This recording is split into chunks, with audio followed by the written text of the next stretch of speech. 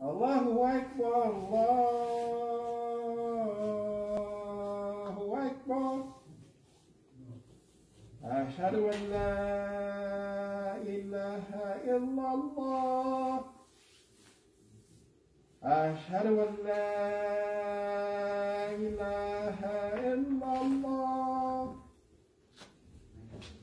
أشهد أن محمدا رسول الله أشهد أن محمدا رسول الله حي على الصلاة حي على الصلاة حي على الفلاح حي على الفلاح الله أكبر الله أكبر الله أكبر الله أكبر لا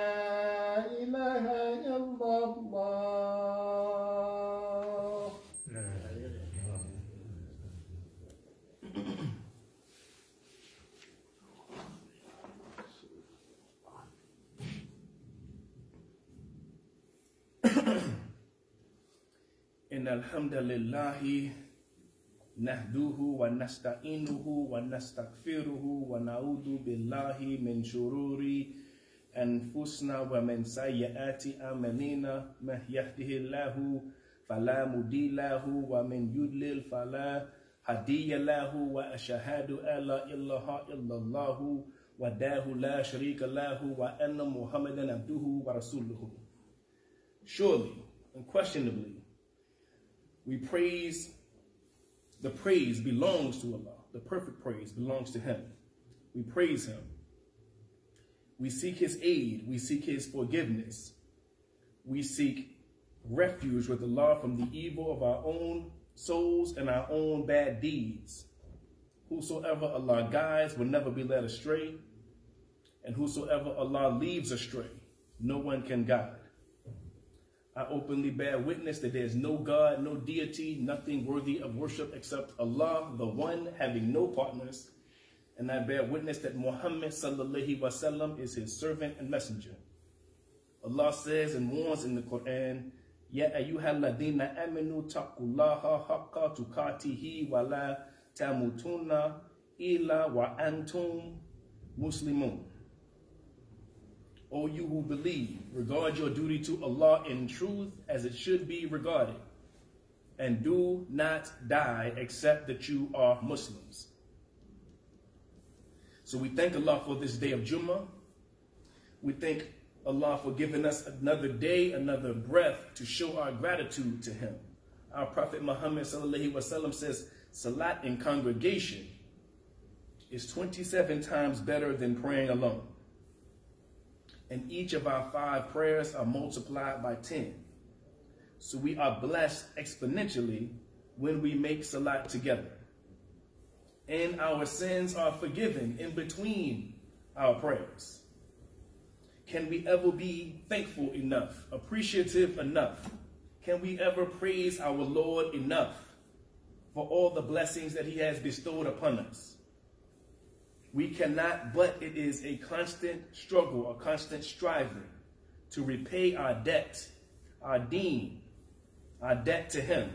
This deen and our prophet is a mercy and a blessing from Allah azza wa jal, and we pray that others are guided to this mercy and to this blessing. Two weeks ago, we talked about Uthman radiallahu anhu and his generosity, his sadaqah. This weekend, up until a couple days ago, I came back from California, from Los Angeles.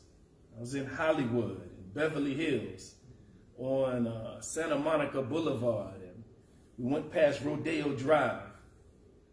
We saw houses from the richest of rich, people on hills, houses far away from the poverty that is all around Los Angeles. The poorest of poor. And it gave me a sense of almost disdain for wealthy, rich people. So I thought about the khutbah today and what I wanted to discuss, and I wanted to think about the relationship between rich and poor people in Al-Islam.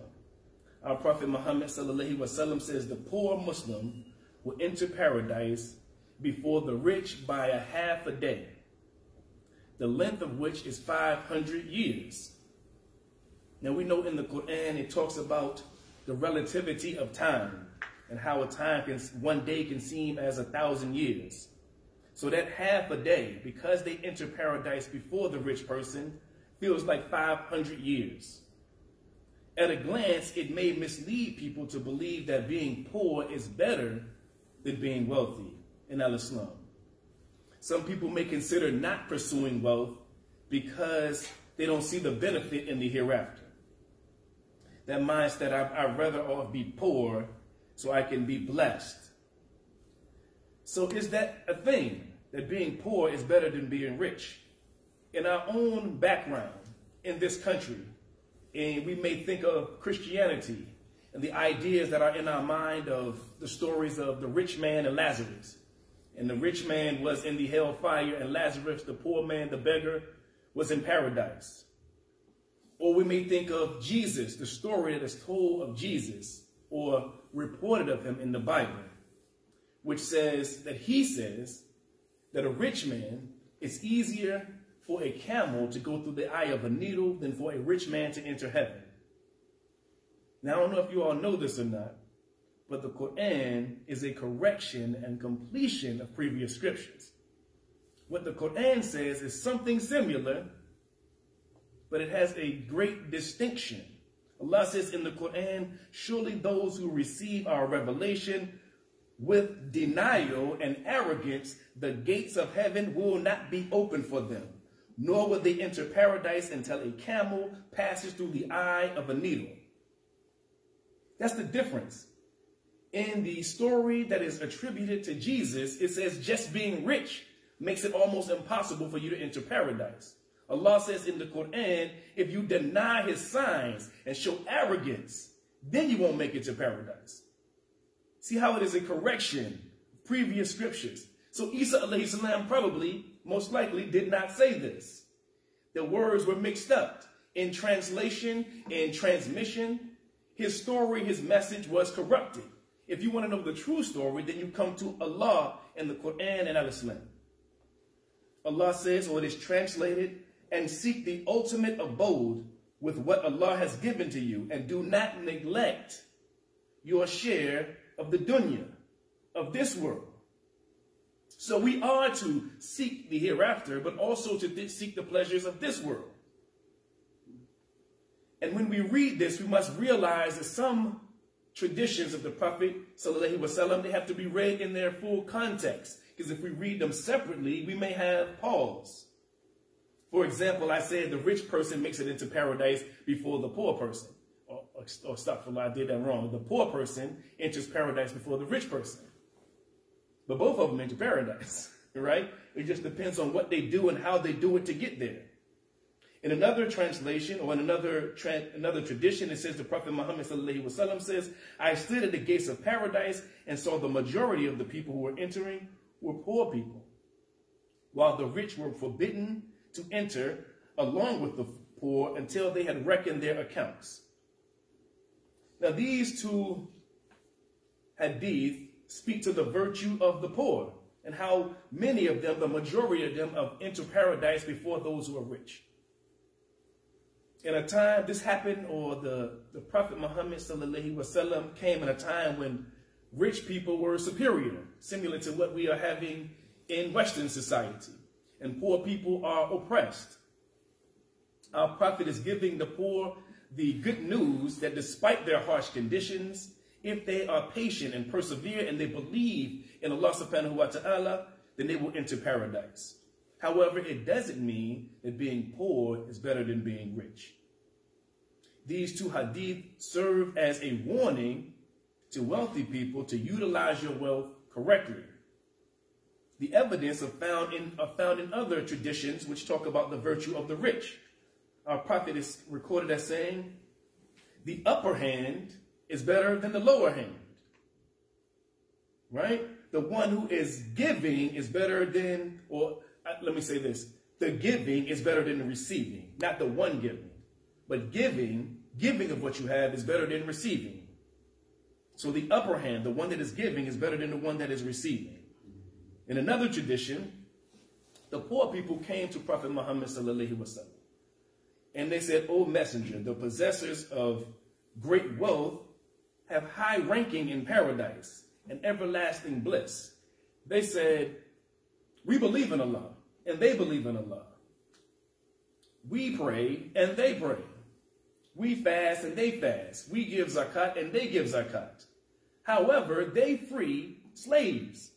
They free those people who are in bondage. We don't have enough money to do that.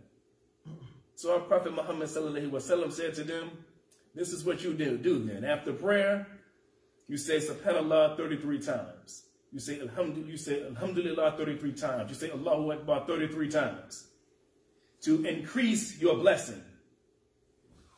So you know what happened after that. The rich people heard it, started doing that too. they, they went back to the prophet and said, listen, now they're doing that too. How can we equal them? So Allah says in the Quran to compete with righteousness. Right? They're trying to be more righteous than their fellow man, than their fellow Muslim, their fellow mu'min. And our prophet says, this is Allah's grace, which he bestows on whom he wills. He gives, you know, the saying, with great power comes great responsibility. He gives them, because money is a sense of power. He gives them power and responsibility. But there is a way to equal that out. If you think about it, our prophet gave us the way to equal that out. Dhikr. So do more than 33. Remember Allah more often than your fellow man. If you can't give to the poor, you can't feed the poor, if you are poor yourself. This clearly shows that our prophet commends the wealthy for their charity in helping others. As a matter of fact, our mother, Khadijah, was wealthy. Abu, Abu, Bakr, I mean, Abu Bakr was wealthy. Umar was wealthy, and so was Uthman, radiallahu anhum. All of them had wealth. In fact, there was a businessman who was one of the Sahaba who was promised paradise. He was promised paradise because of the, the wealth that he had and he amassed, he gave to those who were in need. Allah and the Prophet is commending the poor and rewarding them with paradise for their hard work, perseverance, and patience. However, he also says, do not succumb to disbelief. The Prophet says, poverty almost leads to disbelief. The same thing is true of wealth and money. We know when people have amassed a large amount of wealth, they think they are not in need of Allah subhanahu wa ta'ala. They're not in need at all, right? So the more wealth they amass, the more likely they are to neglect or reject or forget to praise and remember Allah subhanahu wa ta'ala. So this is a warning for both of them. Our Prophet and Allah also commends the rich for giving charity, for relieving others of their debt, giving in times of turmoil, and places them in a high ranking for those who give of their wealth. But if they are wealthy irresponsibly, they are held to judge as well. As I said, with great power comes great responsibility. The more money you have, the more wealth you amass, this is nothing but sustenance that Allah gives you or something that Allah gives you so you can give to other people who are in need. This is why I had such a problem with Beverly Hills. And they have their own police department. They have their own ambulance. They have their own fire department. They have their own everything. And far removed from those people who are living destitute. They won't allow them on Rodeo Drive at all.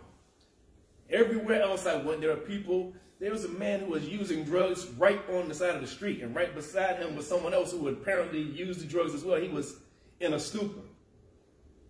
People living in tents all over the place. And two blocks from that are people living on hills. More money than they can do anything with. So we strive and work hard to amass wealth, to amass riches, to benefit ourselves, to benefit our families, and to benefit other people. Our Prophet Muhammad wasallam says, the most beloved people to Allah are those who are beneficial to other people. That's what our job is, service to other people. When Allah says that we are to worship Allah, and that's why we were created, worshiping Allah is serving humanity, serving his creation. Because he doesn't need our worship. What can he do with it? He doesn't need our prayers. He doesn't need our zakat. All the zakat is for people. He says that the most beloved deed to Allah is to make a Muslim happy or to remove one of their troubles or forgive one of their debts or feeding the hungry. These are the best actions to give. And as I said about Uthman, there was a poor man who was envious of him. He said, whatever you give, you are giving more than I am. Because if you have $100 and I have $1,000, if you give $10, it means more to you than my $10. A long time ago, there were two men. One was a poor man who was a believer, who was thankful, who was pleased with his life and happy what Allah had provided for him. And there was another man who was a rich man. Allah had bestowed great bounties on him, gave him beautiful gardens, a beautiful home, trees growing, and he had rivers flowing. Tremendous wealth. He even had a castle. Now, this rich man was arrogant and greedy with his wealth. He didn't give to anybody. He didn't praise Allah. He wasn't thankful for his blessings. In fact, he thought it was him that amassed his wealth. It was my own ingenuity, my own intelligence that amassed this wealth. Allah didn't give me this. He had enjoyed his bounty so much, he would go outside and look at his garden, look at his fruits, look at his castle, look at the rivers flowing underneath, and thank himself for it. And then the poor man, the believer, came to him one day and said, Oh, rich man, Allah granted you this great bounty, but Allah will ask you on the day of judgment, what did you do with all this stuff that I gave you? Don't be fooled by your wealth. One day you will be held to account. And the rich man got upset he grew even more arrogant. And he said, basically, shut up, old man, or shut up, poor man. How can you give me advice? I got money, you don't. I have riches, I have wealth. He said, I have children, I have slaves and servants, and you don't. How can you tell me? Unfortunately, too many of us today are the same way. We look up to people who have money and wealth and think that they can give us advice because we think they did something, they're something, they're more intelligent than us. They are more ingen ingenuitive. They're more something than us, right? But what it is is Allah bestowing bounty on them. It's a test for them. Their wealth is a test. And this man thought that he had done all of this, these things himself, right? We were talking about a basketball player. LeBron James didn't make himself six foot six, make himself run really fast and be able to jump and throw a ball. Allah did. So whatever he can do is from Allah not from himself. So the rich man grew more arrogant, told him to be quiet. The rich man laughed and said, I don't believe there will be a day when I will be judged. I have all these wealths and I've amassed all of this power. And even if there is a day of judgment, this Lord that gave me this, he's going to show favor on me in paradise. He has to. He showed favor on me here. So if he gave me money here, then he must love me and show me favor in the hereafter. And the poor man said to him, Do not disbelieve, O rich man. It is Allah who created you from dirt and provided you with all your wealth and provided you with all your children and provided you with all your servants. And I have less than you, less wealth, less children, but Allah can grant me a greater reward in paradise, greater than your wealth, greater than your children. So do not disbelieve. The rich man again grew even more arrogant and insisted on disbelief and the believer left him. And he says, remember that Allah gave you these blessings. The believer also continued to pray for him, saying, hopefully one day this man will seek guidance from his Lord. The next morning, the rich man wakes up his castle is gone, his gardens are gone, and everything is gone. Allah took everything away. His, his garden was desolate and empty. The trees were dry. The leaves and the fruits had fallen down, and the river had dried up. Allah had sent on them a great on him a great flood and strong winds, which destroyed his two gardens, destroyed everything that he had. He started crying and weeping. His wealth totally and completely defined him. You know, you talk about the people who are rich in Beverly Hills, and when they lose their money, they lose anything, they're likely to, they should be on suicide watch, because that's all that they have. Their fame and wealth defines them. He fell to the ground, crying, weeping, saying, I wish I had not associated partners with Allah subhanahu wa ta'ala, and I had dis- and I didn't disbelieve, and I listened to that poor man. I listened to be thankful, because everything that I have now is lost. This is a story from Surah Kahf, the cave, which we are supposed to read every Jummah anyway.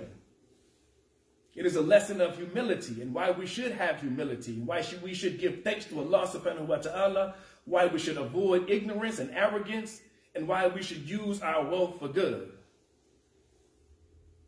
And Allah continues. He says, the example of this life is like rain, which we send down from the sky, and the vegetation on earth mingles with it, and then it becomes one day dry remnants scattered by the wind. Our Imam Farid used to say everything in the Quran is for human beings. If we put that into context, we think of if we think of rain and the vegetation as two human beings, a man and a woman coming together and having children, even your children and everyone you have and everyone you see, all of us here, one day will wither away and be gone. So we have to give thanks to Allah subhanahu wa ta'ala for everything that we have. Everything that we have, including our life, is given to us. It is a loan that we have to give back. Wealth and children are ornaments of this life, but the everlasting life, the good deeds that you have, always last. Allah continues, beware of the day when we will blow the mountains away and the earth will be laid bare, and all of humanity will be left alone. They will be presented to their Lord in rows. This, this brings such imagery to me that everything will be laid to bear. And they will say to those people who denied the return, You surely have returned to us as we created you in the first, although you claim that you will never meet this appointed time. Allah says, if I created you once, what makes you think I can't create you again? If I gave you a conscience and I gave you this world to navigate in, what makes you think that you won't come back to me and explain what you did in this world and what you did with what I gave you? Allah says in the Quran, the record of the deeds will be laid out open, and you will see the wicked in fear for what is written in those records. They will cry, woe to us. What kind of record is it that does not leave any sin, small or large, unlisted? They will find whatever they did present before them, and your Lord will not wrong anyone in any way. This is a terrifying thing for those people. It should be terrifying for us. Especially terrifying for those who do not turn to their Lord in thanks we pray that we remain on the Sirat al-Mustaqim. That when those records are open, there has blocks on those, like the FBI files, from the bad things that we did that Allah has erased with the good things that we have done. And because we have asked for his forgiveness and we have turned to him. Let us stop now and ask Allah for forgiveness.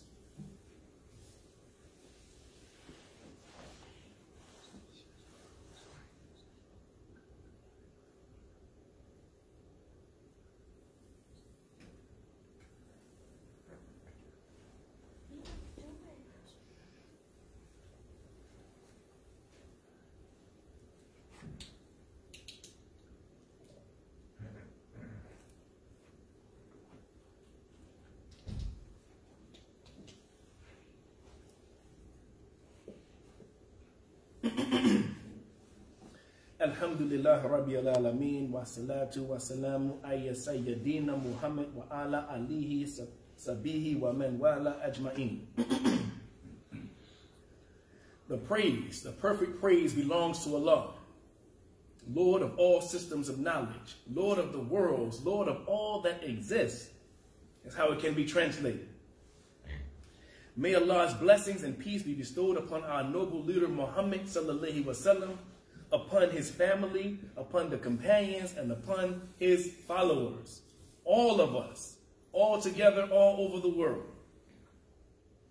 We know of Jeff Bezos and Elon Musk and Bill Gates. But do you all know the lesson of Karun? You know Jeff Bezos' wife. So he's the wealthiest man, I think, right now, because you know it changes from day to day or week to week. His wife or his ex-wife gave more in charity than he did. She was uh, given a certain amount of his wealth, and she gave charity to all the uh, HBCUs around here. She has given more in wealth than he did, even though he is the wealthiest man in the world. He has $200 billion, something, something crazy like that.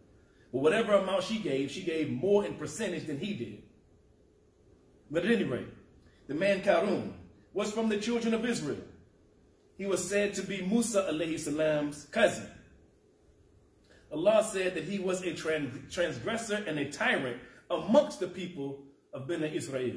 So he was of the children of Israel, and he was also tyrannical towards them. Right? Musa alayhi salam not only had to contend with the Pharaoh and, and uh, Haman the uh, Egyptian priest, but also with traitors in his midst, traitors in his own group. The Pharaoh was in charge of the children of Israel. Obviously, the children of Israel are enslaved. They are living in ghetto populations, right? Similar to what is going on today. And they are being controlled and beaten and abused for labor, and they are being treated terribly, being tortured. And when you treat people horribly for a long period of time, there's obviously going to be rebellion. So for the Pharaoh, he figured out a way to avoid this rebellion is by having some people of the children of Israel to control those other people. What we might call a traitor, what we call a sellout, right? And this is what Karun was. He had certain people that he paid large amounts of money for telling on the children of Israel if they were plotting to rebel or whatever they were doing. Tell anything that they were doing. And he would report this back, and, he and this man, Karun, amassed a large amount of money for doing this. So he must have been a really good, what, what do they call that, um, CI, uh, confidential informant. But for the opposition or for the oppressor. He, sold, he told so much, he was so good at his job of snitching and telling, right, that he amassed a large amount of wealth. And his wealth was so large that he had huge votes and the keys for those votes, they said they were leather keys. The keys were so heavy that strong men, groups of strong men would have to carry the key to the vote in order to open the vote. And they would get exhausted just carrying the keys. So that just imagine how large these vote these votes are, because it was more than one vote, apparently, multiple votes and different keys, huge, huge keys to this vote. And in there, they had obviously had extreme security around to lock these gates. But if, so if you can imagine how big these keys are, you imagine how large the votes are, or the votes are. And when the security guards would come and help open this vault, he would just look in it and smile. Right? He is so happy with all the gold and silver that he has amassed in being a traitor to his own people. And everyone, even the slaves, are looking in and seeing this. They see this man who's living like a millionaire, like a billionaire of his time, while they are living in poverty. He's driving the nice camel, the nice horses, right, while they're walking. He, has, he lives in a nice home while they live in a shanty homes.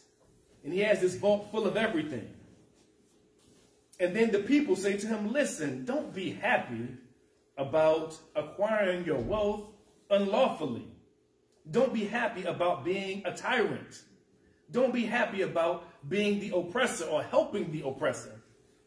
You are harming us in order to gain your own wealth. Don't be happy about extorting us. Don't be happy about doing wrong. Allah doesn't love those who are happy for their wrongdoing. And he has prepared for you a hereafter for all that you do, to hold account for all that you do. So don't be focused on this world, focus on the hereafter. Focus on what Allah has prepared for you. And what does Karun say in response? Something similar to the other rich man. I, I acquired all this wealth myself. I got all this money from my own experience, from my own knowledge, from my own blood, sweat, and tears, despite the fact that he got it from telling so other people can be harmed. I'm the one who worked hard for this wealth. I'm the one who put the effort in for all of this money. So I don't care what you all are talking about. Right? I got money now. Allah says in response, or it is translated, didn't he know before that Allah had destroyed before him many nations who was richer than him, who was stronger than him, who was more stable than him? So Karun gathered his workers, his slaves, and started parading his money all around the children of Israel, marching in the middle of them with money, showing his wealth. He had um, he had horses that had gold uh, coverings over them. He was walking. He had gold all over top, all over him, like some of our entertainers now, right? Flaunting his gold while we are impoverished. Some of the children of Israel saw this and they were attracted by his wealth. They wanted to be like him. They wished that they was wealthy like Karun was. They wanted his great fortune. They said he was a lucky person, lucky to have all of this. But Allah also talks about the believers, those who had faith, those who were pious, those who were righteous, and had knowledge of the Torah. Now also, I forgot to mention that Karun was one who was eloquent in his articulation of the Torah. So he was a he had a singing voice. So not only was he rich, he was a singer, right? So he's singing. So he's already people are already already adoring him, liking him because of his wealth, liking him because of his voice. And just like us today, many of us people today, are people who worship people on television, we think since Allah gave him this money, gave him this talent, maybe he's somebody. Maybe he should be on this level and, and I should be adoring him or admiring him. But there are people who are pious who are actually following the Torah, not just reciting it beautifully, who said that he should be more reluctant to be so boastful and bragging. It says the reward of Allah is by far better than what Karun has. Then Allah begins to show his power. So in the tradition, it says that Karun goes to Musa. He's he is jealous of Musa, salam, and his following. The first thing he tries to do is to smear his name. He hires a prostitute and say that he has been with that lady, accusing Musa salam of adultery. And in the same way, when Musa was, when Musa accidentally killed a man, he fell down in prostration. The same thing happened here. As soon as the lady said this allegation, he fell down, made two rakas to Allah subhanahu wa ta'ala. He got back up, and Musa was a big, strong man. He said to the, to the lady, who told you to do this? Apparently, he said in a stern enough voice, but she told the truth immediately. She said it was Karun, right? So he, so Allah, I mean, so Musa alayhi salam says to says to Allah, please punish this man. He's tarnished my name, and you know how Allah does about people's names, especially when it comes to chastity. We have we have ayahs in the Quran of Allah defending Isha, I mean Aisha radiallahu anha, and Mary, the mother of Jesus, as well, from people saying that she was unchaste. Right? So the same thing is true of his prophets. They're saying that he did something that was unchaste. Allah subhanahu wa ta'ala says, I will punish him for this. So a little bit after that, Karun is feeling himself, right? He says, look, I'm rich. I got all this money. I know you're a prophet and all that. Yeah, yeah, you're a prophet. You talk to God and all of that. But listen, I got all of this money. I can show you. Because he thought a rich person and a prophet are on the same level. He said, I can make invocations. I'll ask Allah for something. You ask Allah for something. Let's see who gets it. Right? So I don't know what he, they didn't say what he asked for. He asked for rain or something that didn't come. He asked for more wealth that didn't come. Everything he asked for, Allah subhanahu wa ta'ala did not give it to him. When Musa asked for whatever he asked for, he received it. Because obviously Musa is telling the truth. In the same way with the magician, you know, Musa is actually being sincere while this other person is lying. So, since what he tried to invocate didn't come true, Musa said, Please, Allah, punish this man now for all of the wrongdoing he has done. And he starts to sink into the desert, to, into the desert sand. His feet start to sink. And Musa salam says, Take him. Then he starts to sink a little bit further. His knees go down. Take him, Allah. Then his shoulders go down. Then it says, the, his, he sunk as well as his house. Now, in the Bible, it talks about a man named Kara, who is basically the same person. They have different, they are given different names or different titles. And the same thing happened. The earth swallowed him whole.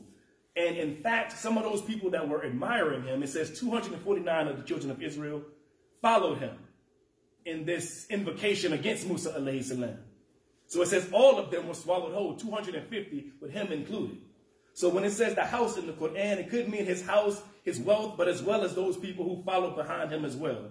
But all of those people were swallowed by the earth for his arrogance, for his disbelief, for his questioning the Prophet Muhammad, Prophet Musa salam, as well as trying to smear his name. Now, in this, in the idea of Black History Month, I did want to add something from some other person who was a Muslim, pious Muslim, who was also wealthy. Because I want to give you the juxtaposition of these things. What you should do with your wealth and what you should not do with it. Musa, Mansa Musa, I want to make sure these are, are, are explained correctly. Musa salam was a prophet for the children of Israel. Mansa Musa was an African king in Mali in about the year, I think it was, uh, yeah, 13, around 1300, 1324, right? And he was considered to be the wealthiest man to ever live.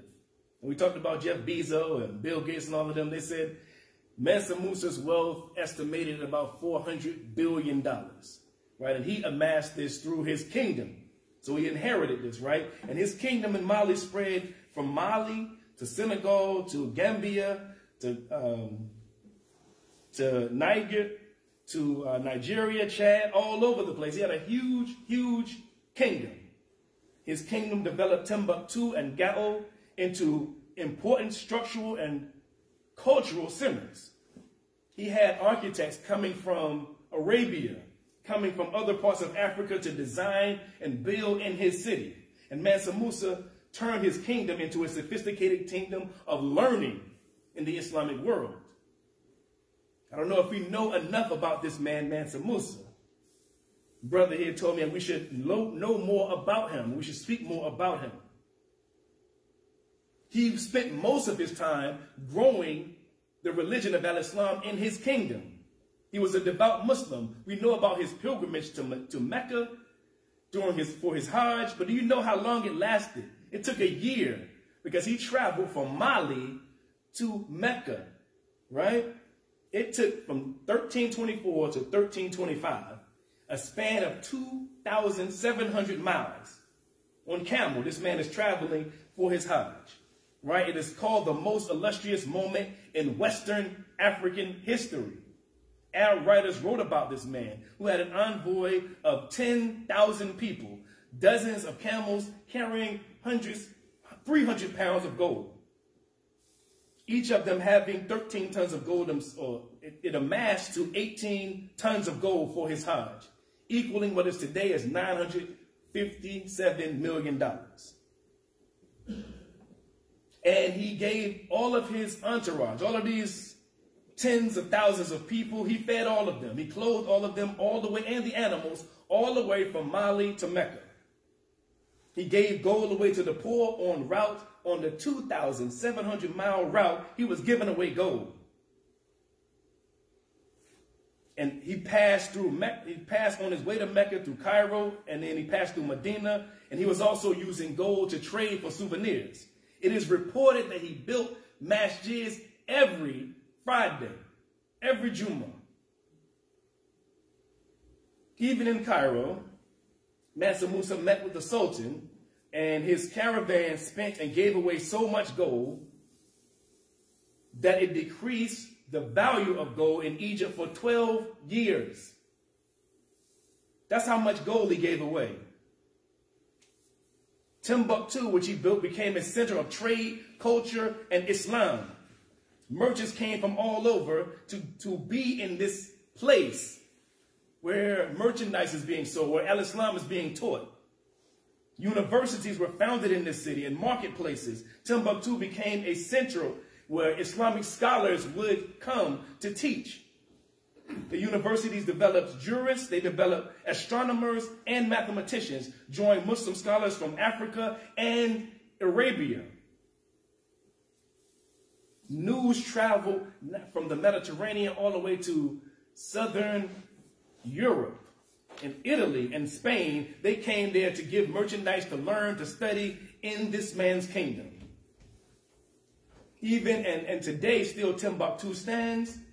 His reign had universities that collected books in uh, collected books that were larger than books in uh, the Library of Alexandria. The university had the capacity to house 25,000 students, one of the largest in the world, and it had roughly 1 million manuscripts. Now, so you've seen those manuscripts and pictures of those, they're in Arabic. So if we learn Arabic and go to South and go to Western Africa, we can read and see those scriptures, those manuscripts that are, that are written of our history, of a history of a great empire of Al-Islam that is largely unnoticed, largely unknown. And I wanted to end with one last story about a Sahaba. Allah says in the Quran, the likeness of those who spend the wealth, their wealth in the way of Allah is the likeness of a grain of corn. It grows seven ears, and each of those ears has a hundred grains. And Allah multipl multiplies, multiply, Allah gives multiple increase to whom He pleases. So in the year 640, rain stopped coming. There was a drought. People didn't have food. The fig tree stopped, stopped uh, giving figs. The olives, there were no more olives from the olive branches. The people of Medina, the people, the animals were starving without food. And people were so hungry that they started eating leaves just in order to survive.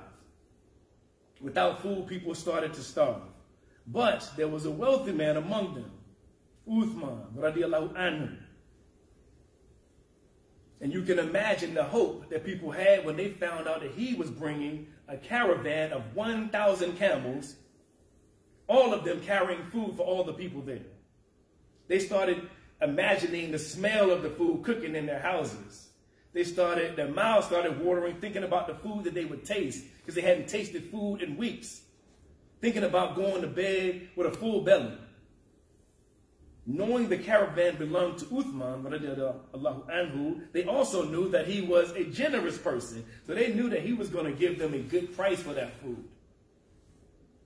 But similar to the, the well story that we talked about, the merchants heard about it as well. They heard about him sending this caravan of a thousand camels, bringing food, and they figured, we got to get these, we got to get these uh, camels and get this food. What we'll do is go to Uthman and give him a good price for it. And then we can hike the price up to whatever we want, right? Everybody's starving. If you're starving, I can charge you a $1,000 for a hamburger, right? Instead of $5. So they went to him and they knew that he drove a hard bargain. So they knew whatever they asked him initially, he's going to say no to. Right? And that's what happened. He says, they went to him and said, listen, we'll, we'll buy from you for double the price. And he says, I am afraid I cannot do business with you for have already received a better offer. The merchants were diligent. They were persistent. They said, listen, we got to get this. You know, everybody has, nobody has food. He's the only one with food. We got to figure out a way to get this. So they huddled together and said, listen, we'll go with a, a better offer. So they said, we'll double it, we'll triple it. He again says, I am afraid I cannot do business with you, for I have already received a better offer. They gathered together finally and said, listen, I don't know who he got this offer from, but he's going he's not even going to get a profit if he if he doesn't get this money that we are giving him. So let's go back and say we'll give him five times the amount of the, the value for this food. So they go back to Uthman and say, listen, we'll give you five times the value for this food. He, said, he said again, I am sorry, I cannot do business with you. You see, I have received a better offer from Allah subhanahu wa ta'ala. For Allah has said that anyone who gives away his wealth in Allah's name will get back far more than he gave away. So Uthman anhu refused all of the money of the merchant's offering. Instead, he gave the food away for free. He gave it away all in the name of Allah subhanahu wa ta'ala and every person prayed for him. This person is another man who already is guaranteed price five times over. And just to reflect, just to remember, Allah says it's like a grain. Each grain each is like a grain, and each grain has seven ears, and each ear has a hundred grains. And Allah multiplies that. So him giving away these thousand camel with all that food is multiplied exponentially. And every time they pray for him, and all the food that they have, the sustenance they have within themselves, he receives blessing for that over and over and over again. Perhaps the people of wealth today can learn from our deen of al-Islam, and we can learn to whatever wealth we have, whatever small amount we have, we can give. Because Allah says you never decrease when you give charity, when you give sadaqah. Never. And if Allah's word is true, and it is, then we should be taking heed.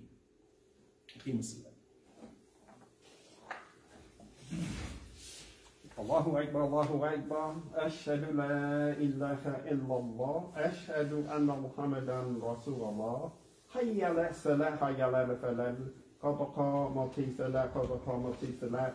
الله أكبر الله أكبر. لا إله إلا الله. محمدا رسول الله.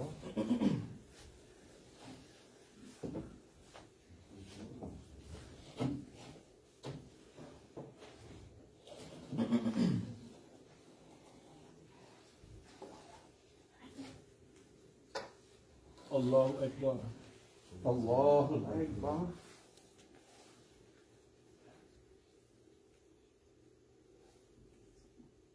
بسم الله الرحمن الرحيم. الحمد لله رب العالمين. الرحمن الرحيم. مالك يوم الدين. إياك نعبد وإياك نستعين. اهدنا صراط المستقيم. صراط الذين أنعمت عليهم. غير المغضوب عليهم ولا الضالين. آمين. لإلى في قريش إلى فيه رحلة شتاء وصيف. فليعبدوا رباحة البيت الذي أطعمه من جوع وأمناه من خوف. الله أكبر. الله أكبر. سمع الله لمن حمده الله الله أكبر. الله أكبر.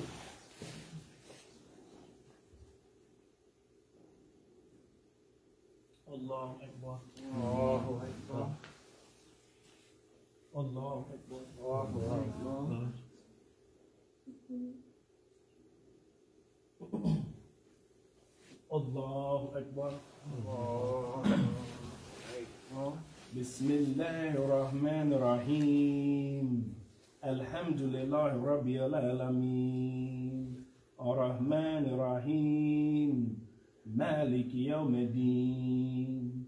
إياك نعبد وإياك نستعين. اهدنا صراط المستقيم. صراط الذين أنعمت عليهم. غير المغضوب عليهم ولا الضالين.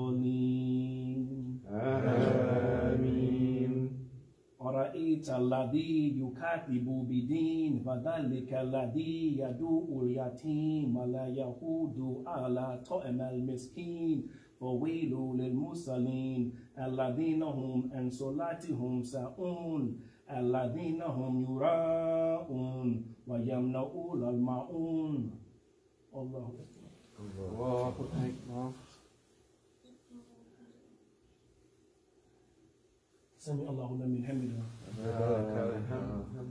الله أكبر الله أكبر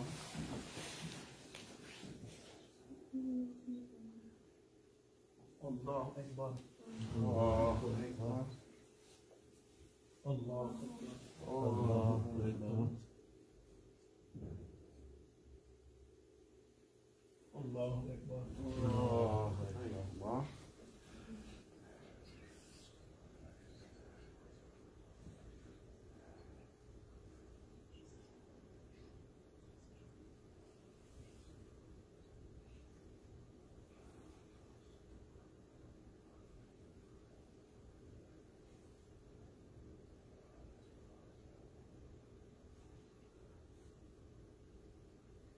السلام عليكم ورحمة الله.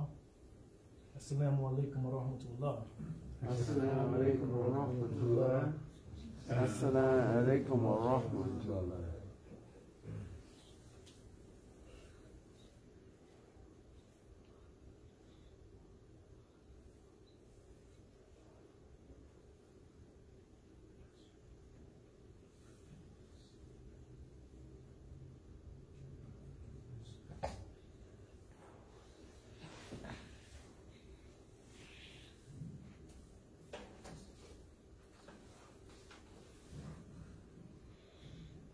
Assalamu alaikum.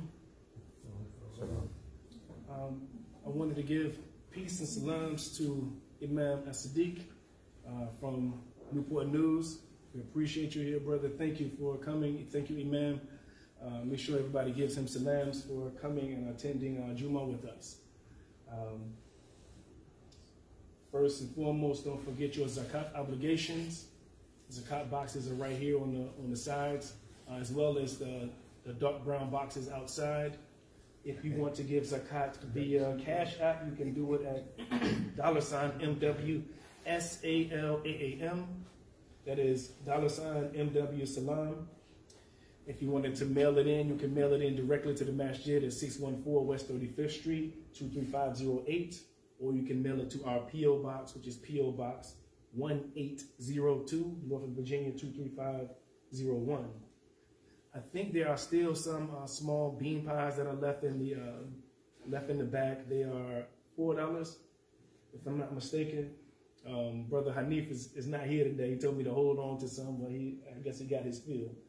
Um, there will be Fajr in the morning, inshallah. I'll be here in the morning uh, to open for Fajr prayer. Um, there'll be Talim on Sunday at 1 o'clock, inshallah. Um, and also let us remember that um, Brother Ashanti has uh, Arabic class on the first and third Sunday at 11 o'clock. So it won't be this Sunday, it'll be the following Sunday, and it is uh, free.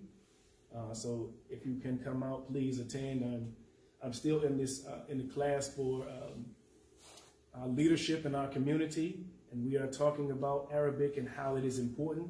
First thing we were talking about was Iqra. The angel Jibril said Iqra to our prophet, and uh, he realized it meant to recite. The Quran is, Al Quran means the recitation. So if you are not able to recite, then you are leaving out some part of your deen. So just reading it is not the same as the recitation. Um, so that, that is quite important. I want to make sure that it's uh, articulated. If you want to be a member of Masjid William Salam, uh, the form is outside on the board.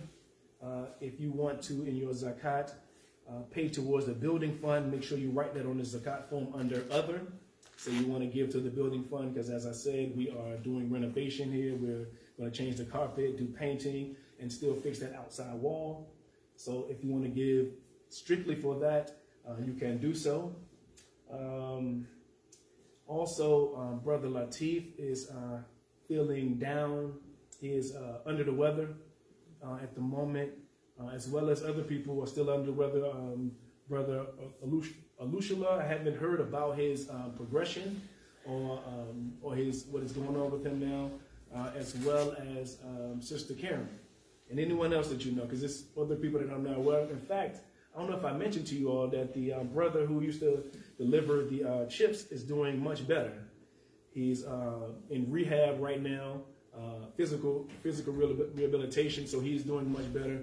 So please continue with your duas uh, for everyone. There's still COVID going on. As you see, everybody in here has masks. I'm going to put my mask back on in a moment. Um, and I also wanted to say that I thank you all. I appreciate you all, everyone who was on uh, on social media, everyone who was in attendance, everyone who was a member. I went to a couple of different uh, masajid in uh, Los Angeles and Los Angeles, period. I would much rather live here. Uh, I couldn't wait to get back here. I went there to watch a basketball game. My team lost, um, but just I I like the the people here. I like the environment here. I like Norfolk, Virginia. I loved it more so than any of what they show on television. Is kind of like what they do on Facebook. You know, you show the best pictures, but when you go there, it is not the best. all right. Uh, I don't want to get into a tangent, but yes, I appreciate all of you. Thank you very much.